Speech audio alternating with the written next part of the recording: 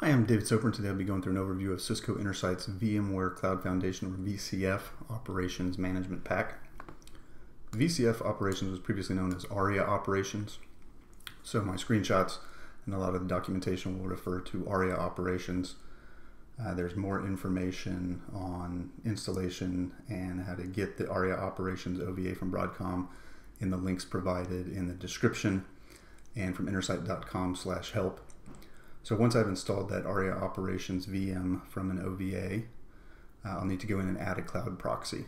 The Intersight Management Pack requires a cloud proxy. So from ARIA Operations, I'll go to Administration, Cloud Proxies, and add my proxy. Um, on number four there, you see the unique registration key that'll be needed when I go in and actually install the OVA, so I'll need to copy that to the clipboard. And then I'll go deploy my cloud proxy OVA. So I'm in vCenter and I'll deploy that template. Select my OVA and I'll go through typical VM configuration, including where to place it, accepting the license agreement. Configuration, a small cloud proxy would typically be fine, but you can customize any of these as needed for your environment. Uh, storage setup, networking. Um, I'll be setting up static networking here. And then when I get into the customized template, this is where I will paste in that unique registration key. I set up the naming and any other settings needed for this cloud proxy.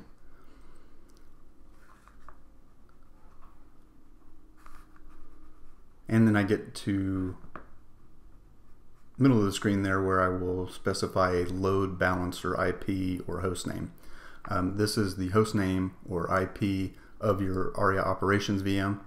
Um, so I just put in that ARIA operations. This is a required step um, in setting up the cloud proxy. Finish out the rest of the network settings uh, and then I can review all those properties where I customize the template to ensure those are correct and I'm ready to deploy my VM. Once that VM is deployed, back in ARIA operations, um, I can check that this cloud proxy is online. As soon as that shows online, we're ready to continue on to installing the Intersight Management Pack for VCF operations. And there are links to the download location of the Intersight Management Pack in the description of this video. Once I've downloaded that in ARIA operations, I can go to integrations and repository where I can now add that management pack a couple options here. Um, this is a sign pack, so you shouldn't need to ignore it. Um, but if you have any issues there, you can ignore the signature checking. And I can click Upload,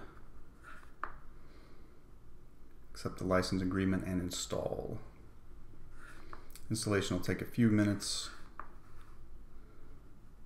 And once that's complete, I'm ready to go back in and configure the connection to my Intersight account. ARIA Operations Integrations, I now have Cisco Intersight available. I can select that. And I can go set up my name for my account and that connection to Intersight. I can leave the Intersight domain as it is. And then it's shown here for the Intersight Managed Domain IP. I can select specific IPs to monitor, or I can keep empty to collect all the domains in the account. So I want to collect all, I'll leave that. Uh, set verify SSL to true. And now for credential, I'll go in and add a credential. Um, this is an OAuth 2 credential. So I'll give it a name and then I need to go back into Intersight. And in Intersight's setting menu under OAuth 2, I can create an OAuth 2 client credential, name that, give it a description and expiration time if needed and then I'll go back and uh, enter that client ID which was presented to me when I created the client uh, credential and the secret um, which was also uh, given and I can either copy that to the clipboard or save it to a file. In this environment I am behind a proxy so I'll need to set that up so that I can establish that connection out to Intersight. Once I've done that I can click OK and then I can go and validate the connection. This is where I'll use that cloud proxy that I set up previously. Uh, take a minute here to validate that. Once that validates, I can go in and add this connection to Intersight. And to finish out, I'll take a look at the inventory and metrics available um, from Intersight. So back in ARIA Operations Home, I'll go to view the inventory. I see Cisco Intersight there as an inventory source. Um, my chassis information, uh, blades and other server types are available. All of those have been pulled in and there's de detailed inventory available for all of them. And then I've also got um, various FI information, including all the port information. So I'll take a look here at one of my FI uplink ports. That'll give me detailed information on the port. And I've got metrics available. And these are the metrics from Intersight's Metrics Explorer. Uh, but I've got a variety of network information available here. Um, I'll go and select my transmit average and I see a nice graphical view there and I can customize these dashboards as needed within ARIA operations.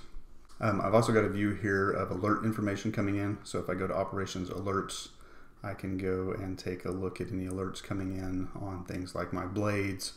Thank you for your time and please see intersight.com slash help for more information.